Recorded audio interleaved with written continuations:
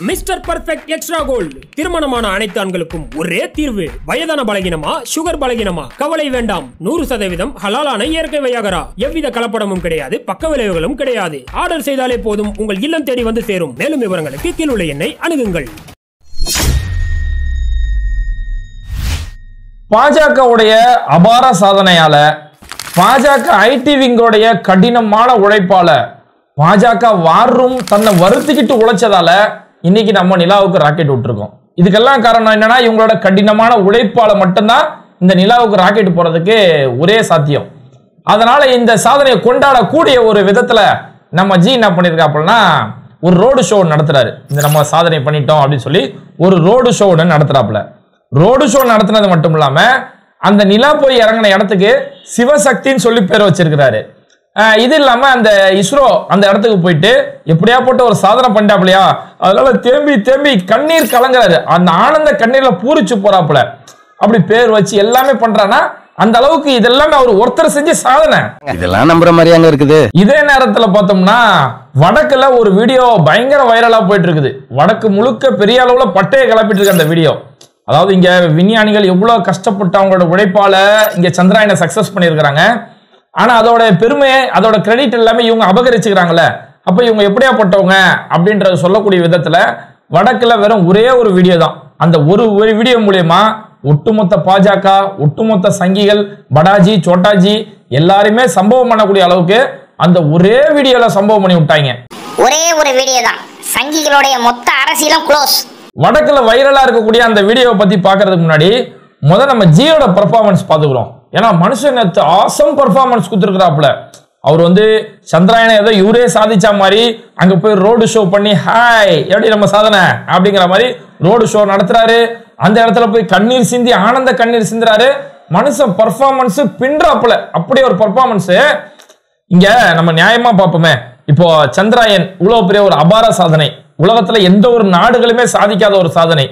நிலாவுடைய தென்பகுதிக்கு போய் அங்க போய் சக்சஸா ஆராய்ச்சி செய்யக்கூடிய இந்த சோ- சோதனை உலகத்துல யாருமே செய்யாத நம்ம இந்தியா சாதிச்சிருக்கு அப்படின்னு சொல்லி நம்ம எல்லாம் ஒரு இந்தியனா இன்னைக்கு பெருமைப்படுத்திட்டு இருக்கோம்.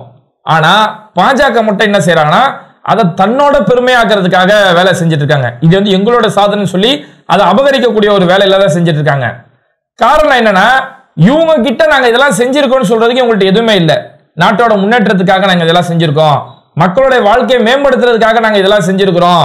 நாட்டை இந்த அளவுக்கு நாங்க வளர்ச்சி பாதையை கொண்டு போயிருக்கோம்னு சொல்றதுக்கு இவங்க கையில எதுவுமே இல்லை. சரி வெளிநாட்டில் இவ்வளவு ஒரு பலூன் ஊது ஊதுறாங்க. மோடி மோடின்னு சொல்லி ஒரு பெரிய பலூனை ஊதி வெளிநாட்டில் ஒரு ஜோக் ஒன்று காட்டிட்டு இருந்தாங்க. இன்னைக்கு வெளிநாட்டிலே அந்த பலூன் காத்து இறங்கி போயிருச்சு. அதனாலதான் பாருங்க இப்போ இவர் வெளிநாடு போனாலே பல இடங்கள்ல பின்னாடி தள்ளப்படுறாரு. சில இடங்கள்ல ஏர்போர்ட்டுக்கு போய் இறங்கிட்டாரு. வரவேற்கிறதுக்கு முக்கியமான நபர்கள் வரமாட்டாங்க புறக்கணிக்கப்படுறாரு. அப்போ இவ்வளோ நாளாக ஒரு பலூனை ஊதி பெருசாக கட்டினாங்க. அந்த பலூனை இன்னைக்கு கொஞ்சம் கொஞ்சமாக காத்து இறங்கி போச்சு. அப்போ இவங்கள்ட்ட சாதனை ஒரு பெருமைன்னு சொல்றதுக்கு இவங்க கையில் எதுவுமே இல்லாத பட்சத்தில் இங்க இஸ்ரோ விஞ்ஞானிகள் சாதிச்சிருக்கிறாங்க. அந்த சாதனையோட பெருமையை ஒட்டு மொத்தமா ஆட்டைய போடுறாப்புல. நம்ம ஆட்டோக்கார தம்பி எங்க இருக்கான்னு கொஞ்சம் பாருங்கம்மா.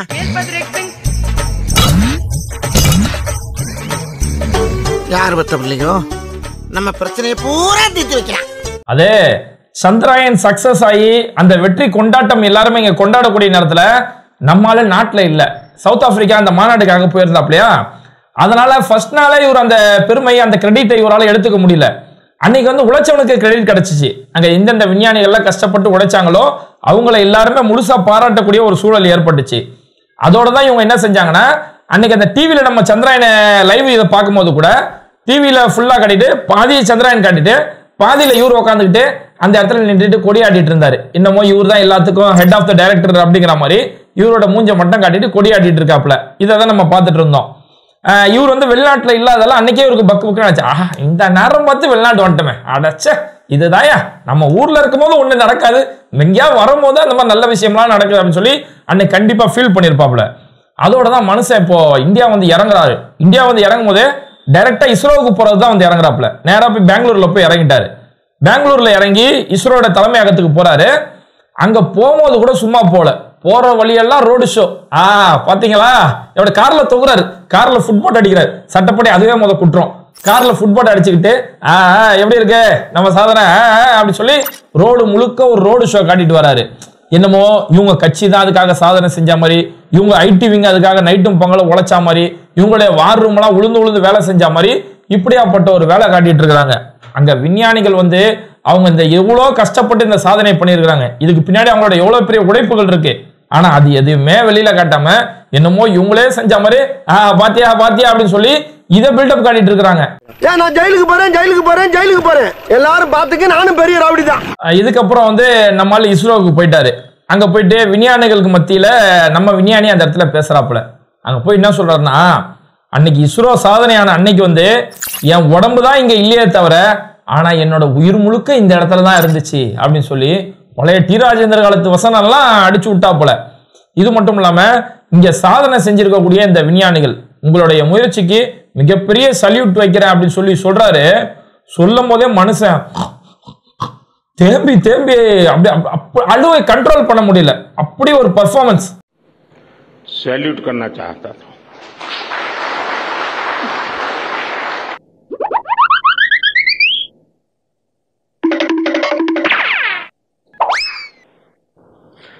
सैल्यूट आपके परिश्रम को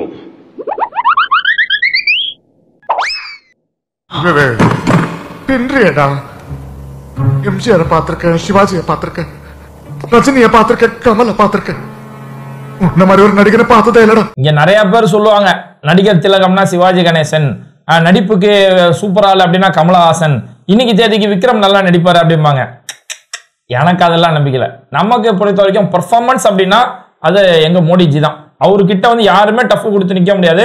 அல்ட்ரா லெவல் பெர்ஃபார்மன்ஸ் கொடுத்துருக்காப்ல மனுஷன்.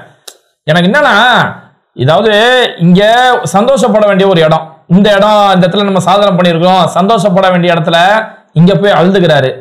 மணிப்பூர் இடம் நம்ம எல்லாம் கதறி அழுவக்கூடிய ஒரு இடம். பெண்களை நிர்வாணப்படுத்தி இப்படி நாசம் பண்றாங்களேன்னு சொல்லி அழுவ வேண்டிய இடம். மணிப்பூரை பத்தி நாடாளுமன்றத்துல பேசும்போது அங்க ஜோக் அடிச்சு சிரிக்கிறாரு. அந்த இடத்துல ஜோக் அடிச்சு கடி ஜோக் வேற அடிக்கிறாப்புல இந்த மாதிரி ஒரு மனுஷனை நம்ம இங்க தான் பார்க்க முடியுது. சரி இப்போ விஞ்ஞானிகளுக்கு மத்தியில வந்து நம்மால வந்து ஒரு கண்ணீரோட ஒரு பெர்ஃபார்மன்ஸ் கொடுத்தாரு இல்லையா? விக்ரமன் படம் வானத்தை போல சூரிய வம்சம் இது மாதிரி விக்ரமன் படத்துல எப்படியாப்பட்ட ஒரு சென்டிமெண்ட் காட்சிகள் பார்த்தோமோ அந்த லெவல்ல ஒரு சென்டிமெண்ட் பர்ஃபார்மன்ஸ் கொடுத்தாரு. கொடுத்து முடிச்சுட்டு இப்ப சந்திராயன் போய் இறங்குச்சுல நிலாவில்? அந்த குறிப்பிட்ட இடத்துக்கு வந்து நான் சிவசக்தின்னு பேர் வைக்கிறேன் அப்படின்னு சொல்லி அந்த இடத்துக்கு சிவசக்தின்னு பேர் வைக்கிறாரு. கொடுமையா பாருங்களேன். அவன் அவன் விஞ்ஞானம் தான் என்னோட கனவு. அதுதான் என்னோட வாழ்க்கை. என்னோட எனக்கு ஒரு இறைவன் ஒரு அறிவு கொடுத்துருக்கான். அந்த அறிவை என் நாட்டுக்காக நான் தியாகம் செய்கிறேன் என் நாடோட வளர்ச்சிக்காக நான் அந்த அறிவை நான் பயன்படுத்துறேன்னு சொல்லி என்னோட கனவு என்னோட லட்சியம் முழுக்க விஞ்ஞானம் மட்டும்தான். விஞ்ஞானத்தை ஆய்வு செய்யறது நிலாவுக்கு எப்படி அந்த ராக்கெட் அனுப்பலாம் அங்கே எப்படி ஆய்வு செய்யலாம்னு சொல்லி முழுக்க முழுக்க அவங்களோட வாழ்க்கையே இந்த விஞ்ஞானத்துக்காக அர்ப்பணிக்கிறாங்க. அவங்களுக்கு தெரியும் என்ன பேர் வைக்கணும். இந்த இடத்துக்கு என்ன ஒரு பேர் வச்சா நாளைக்கு ஒரு தலைமுறை வந்து இந்த விஞ்ஞானம் படிக்கும்போது அவங்களுடைய படிப்புக்கு இந்த பேர் பயன்புள்ளா இருக்கும் அப்படின்னு சொல்லி இந்த இடத்துக்கு என்ன பேர் வைக்கணும்ன்றது அவங்களுக்கு தான் தெரியும். ஆனா அவங்க பேர் வைக்காம இவர் வந்து சிவசக்தின்னு பேர் வைக்கிறாப்புல. சிவா மனசுல சக்தி நினைச்ச ஜீவாவோட இவர் தான் பயங்கரமா பேர் வச்சுட்டு இருக்கிறாரு. காரணம் அதுதான். இந்த விஞ்ஞானிகள் இவ்வளவு தியாகம் செஞ்சு எவ்வளவு பண்ணியிருக்கிறாங்க.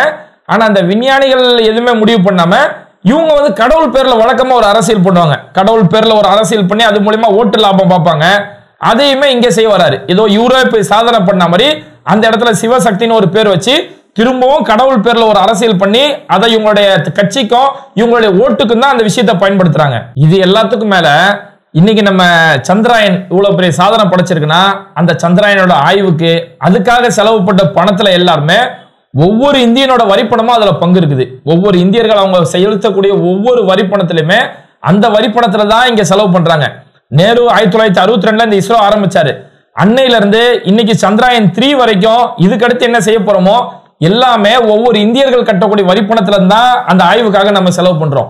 அப்ப எல்லா இந்தியர்களோட பங்களிப்பு இங்க இருக்கக்கூடிய நேரத்துல ஒரு மதம் சார்பா மட்டும் இவங்க பேர் வைக்கிறாங்க. ஒரு மதம் சார்பா மட்டும் பேர் வச்சு அப்ப மதம் மற்ற மதம் மற்ற மதம் சார்ந்த மக்களுக்கோ இந்த ஆய்வுக்கோ மற்ற மதம் சார்ந்த மக்களுக்கோ இந்த வெற்றிக்கோ இங்க எந்த ஒரு பங்களிப்புமே இல்லை அப்படின்றத சொல்ல வராங்களா என்னன்னு தெரியல. ஏன்னா எல்லாருமே இங்க பங்களிப்பு இருக்கும்போது ஒரு மதத்துல மட்டும் இவங்க முன்னுரிமை காட்டி யாரு பெரும்பான்மை மதமோ அவங்களுடைய பேர் மட்டும் வச்சா பெரும்பான்மை மக்களோட ஓட்டு நம்ம கிடைச்சிரும் அப்படின்றதால இந்த இடத்துலயும் அந்த பெரும்பான்மை சிறுபான்மை வேலை தான் செய்றாங்க. இதுக்கு முன்னாடி நாடாளுமன்றம் திறந்தாங்க அங்கேயே இதே மாதிரிதான். ஒரு மதம் சார்ந்த ஒருதலை பட்சமா நடக்கப்பட்டுச்சு. இப்போ இந்த இடத்துக்கு பேர் வைக்கும் போதும் ஒரு மதம் சார்ந்து அது மூலியமா ஓட்டு அரசியல் செய்யணும்னு சொல்லி திரும்ப ஒரு அல்ப அரசியல் தான் பண்றாங்க. இவ்வளோ ஏன்? இதை விட ஒரு மோசமான ஒரு இது நடந்துச்சு. அதாவது பிரதமர் வந்து இங்க வராரு. அவரு வந்து இஸ்ரோவுக்கு போறாரு. வழியில ஒரு ரோடு ஷோ நடத்துறாரு. இது எதுலையுமே அங்க இப்ப கர்நாடகாவில் நடக்குது இந்த விஷயம் எல்லாம் அப்ப கர்நாடகாவுடைய காங்கிரஸே இதுல கலந்துக்க முடியாத அளவுக்கு கர்நாடகாவில் இருக்க பாஜக நிர்வாகிகள் கூட கலந்த முடியாத அளவுக்கு தான் ஒரு செட்டிங் இதை பண்ணாங்க. முழுக்க அந்த பெருமை எனக்கே வந்து சேரணும் அப்படிங்கிற மாதிரி ஒரு செட்டப் அங்கே நடந்துச்சு. இப்போ வந்து கர்நாடகாவுக்கு பிரதமர் வந்து இறங்கும் போது அங்கே இருக்கக்கூடிய இந்த மாநில முதலமைச்சர் வந்து வரவேற்கணும். இல்லைன்னா அந்த முதலமைச்சர் சார்பில் ஒரு பிரதிநிதி அனுப்பிவிடுவாங்க. அந்த மாநிலத்தில் பாஜக ஒரு ஆளுநர் நியமிச்சு வச்சிருப்பாங்கல்ல அந்த ஆளுநர் போவாங்க. பொதுவாகவே ஒரு நாட்டோட பிரதமர் ஒரு ஜனாதிபதி வந்து ஒரு மாநிலத்துக்கு வராங்க அப்படின்னா அங்கே ஆளக்கூடிய அரசு சார்பில் ஒருத்தர் ஒரு பிரதிநிதி வருவாங்க. அந்த மாநில ஆளுநர் வருவாங்க. இவங்க தான் வந்து போய் அந்த பிரதமர் வரவேற்பாங்க. இதுதான் வழக்கமாக இருக்கக்கூடிய ஒரு புரோட்டோகால் ஆனா இந்த தடவை பிரதமர் வந்து அங்க கர்நாடகாவுக்கு போய் இறங்கும் போது அங்க மாநில அரசு காங்கிரஸ் அரசுக்கு வந்து ஒரு தகவல் சொல்லிட்டாங்க. இந்த மாதிரி பிரதமர் வந்து எப்போ வருவாருன்னு சொல்ல முடியாது. அவர் வந்து திடீர்னு எப்போனாலும் வரா வரேன் நான் எப்போ வருவேன் எப்படி வருவேன் யாருக்கும் தெரியாது. வர வேண்டிய நேரத்தில் கரெக்டா வந்துருவேன் அப்படின்ற மாதிரி சொல்லிட்டு அதனால நீங்க யாருமே வர வேணாம் அப்படின்னு சொல்லி அங்க கர்நாடக அரசுக்கும் சொல்லிட்டாங்க. ஆளுநரையும் வர வேணாம்னு சொல்லிட்டாங்க. ஆளுநரையும் வர வேண்டாங்க அப்புறம் தான் தெரியுது இது எதுக்காக இந்த மாதிரி சொல்லியிருக்கிறாங்க அப்படின்னா கர்நாடக அரசு ஓகே இவங்களுக்கு எதிர்க்கட்சி. ஆளுநர் இவங்க நியமிக்கக்கூடிய ஆள் தான் அப்போ ஆளுநரே இந்த இடத்துல வர வேணாம்னு சொல்லி சொல்லியிருக்கிறாங்க. ஏன் அப்படின்னா ஆளுநர் இந்த இடத்துல வரவேற்புக்காக வந்திருந்தாருன்னா கண்டிப்பா அரசு சார்பில் காங்கிரஸ் சார்பில் ஒரு பிரதிநிதி இந்த இடத்துல வந்திருக்கணும்.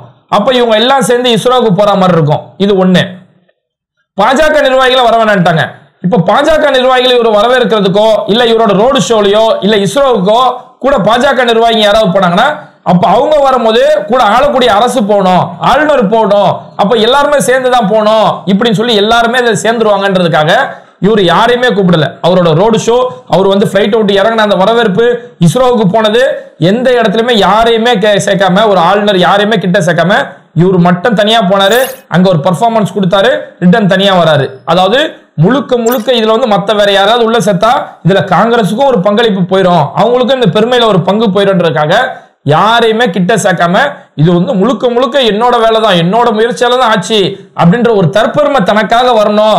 விஞ்ஞானிகளோட உழைப்பு இல்லாம இது என்னோட முயற்சியால வந்துச்சு அப்படின்னு ஒரு பேரை ரிஜிஸ்டர் பண்ணுங்கிறதுக்காக தான் இவர் யாரையுமே கூப்பிடாம தனியா போயிருக்கிறாரு அப்படின்னு சொல்லி காங்கிரஸ் சேர்ந்த பல மூத்த தலைவர்கள் இப்ப அதை வன்மையா கண்டிச்சிட்டு இருக்காங்க. இதனாலதான் இப்ப வடக்குல வந்து ஒரு வீடியோ பயங்கர வைரலா ஃபேமஸ் ஆயிட்டு வந்துட்டு இருக்குது. இங்க வந்து நாட்டோடைய பெருமை எனக்கு முக்கியம் இல்ல. என்னோட தற்பெருமை தான் முக்கியம். நாட்டோட வளர்ச்சி முக்கியம் இல்ல. எங்க கட்சியோட வளர்ச்சி ஓட்டு வளர்ச்சி தான் எங்களுக்கு போதும் அப்படின்ற ஒரு நோக்கத்தோட இவங்க செயல்படுறதால விஞ்ஞானிகளுடைய சாதனையை இவரோட சாதனையை அபகரிச்சுக்கக்கூடிய இந்த நேரத்துல வந்து ஒரு வீடியோ பயங்கரமா வைரல் ஆக்குறாங்க. அது என்ன வீடியோனா ரெண்டாயிரத்தி பதினொன்னுல இந்தியா வேர்ல்டு கப் ஜெயிச்சிச்சு. கடைசி பால் தோனி ஒரு சிக்ஸ் அடிச்சு ஒரு சாதனை ஒன்று படைச்சாப்புல அந்த விஷயத்தை காட்டி இந்த கடைசி பால் தோனி சிக்ஸ் அடிச்சக்கூடிய இந்த ஷாட்ல இந்தியா கப்பு வாங்கின அந்த நேரத்துல அன்னைக்கு பாஜக ஆட்சி இருந்திருந்தா அன்னைக்கு மோடி பிரதமராக இருந்திருந்தா அங்க என்ன நடந்திருக்கும் அப்படின்னு சொல்லி ஒரு வீடியோ செஞ்சிருக்கிறாங்க ஆனா வேற லெவல் சம்பவம் Pointed, but they can walk away from this contest very proud nation. They have played exceptionally well. They played it in India. You know, what a way for him to leave his team. Absolutely magnificent. Dhoni finishes off in style. A magnificent strike into the crowd. India lift the World Cup after 28 years. The parties, and it's uh, an Indian captain who's been absolutely magnificent in the night of the final. Well, he's demolished it. He really has. Sixes. Look at the scenes here. Great joy at the 1KD.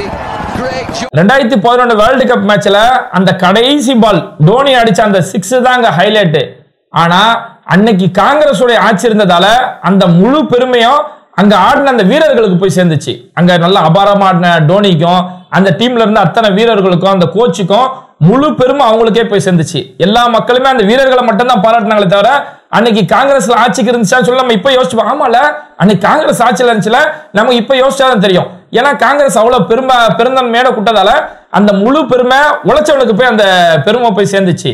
அதனாலதான் அன்னைக்கு ஜெயிச்சதுக்கு அப்புறம் தோனி தலைமையில சச்சின் எல்லாருமே அந்த கப்பை எடுத்துட்டு ground முழுக்க அவ்வளவு சந்தோஷமா ஊர்வலம் போனாங்க. முழு பெருமை அவங்கள போய் சேர்ந்துச்சு. இதுவே கொஞ்சம் யோசிச்சு பாருங்க. அன்னைக்கு இவங்க ஆட்சியில இருந்திருந்தா பாஜக அன்னைக்கு ஆட்சியில இருந்திருந்தா அன்னைக்கு டிவி முழுக்க பாதி தான் நம்ம கிரிக்கெட் பார்த்திருப்போம். மீதி பாதி உட்காந்து கொடியாட்டின உட்காந்துருப்பாரு அன்னைக்கு அவங்க ஜெயிச்சதுக்கு அப்புறம் கப்பை தூக்கிட்டு ஊர்வலம் போனாங்கல்ல அன்னைக்கு சச்சின் டோனிலாம் இப்ப கொஞ்சம் ஓரனவர் எங்க ஜி வருவார்னு சொல்லி ஜி தலைமையில கப்பை தூக்கிட்டு கிரவுண்டு முழுக்க ஊர்வலம் நடத்தக்கூடிய இப்படியாப்பட்ட விஷயங்கள் நடந்திருக்கும். அந்த மாதிரி ஒரு விஷயம் தான் இப்போ இந்த விஞ்ஞான விஷயத்திலுமே. இன்னைக்கு சந்திராயன் விஞ்ஞானிகள் அவ்வளவு பெரிய உழைப்பு பண்ணியிருக்கிறாங்க. அவங்களோட முன்னிலைப்படுத்தாம இவர் தன்னை முன்னிலைப்படுத்தக்கூடிய இந்த தற்பெருமை வேலையில தான் இப்போ இறங்கி இருக்கிறாரு அதனால இது மாதிரி தன்னை முன்னிலைப்படுத்தி இப்படி ஊர்வலம் போறது ரோடு ஷோ நடத்துறது இது எல்லாமே இன்னொரு ஒரு எட்டு மாசத்துக்கு தான். இன்னும் ஒரு எட்டு மாசத்துக்கு நம்ம இதெல்லாம் சகிச்சுதான் ஆகணும். எட்டு மாசத்துக்கு அப்புறம் இங்க ஒரு தரமான ஒரு ஆட்சி உருவாகும். அன்னைக்கு நம்ம ஜி அவரோட வீட்டுக்குள்ளேயே ரோடு ஷோ நடத்திப்பாரு. இது மாதிரி வீடியோக்களை தொடர்ந்து பார்க்கிறதுக்கு மறக்காம பேட்டை டிவியை சப்ஸ்கிரைப் பண்ணிட்டு இந்த வீடியோக்களை உங்க நண்பர்களுக்கு அதிகமா ஷேர் செய்யுங்க. நீங்க செய்யக்கூடிய லைக்கும் கமெண்ட்டும் இந்த வீடியோ பல மக்களோட பார்வைக்கு போவோம் மறக்காம பேட்டை டிவியை சப்ஸ்கிரைப் பண்ணிட்டு அந்த பெல் பட்டனை தட்டிடுங்க. இணைந்திருப்போம்.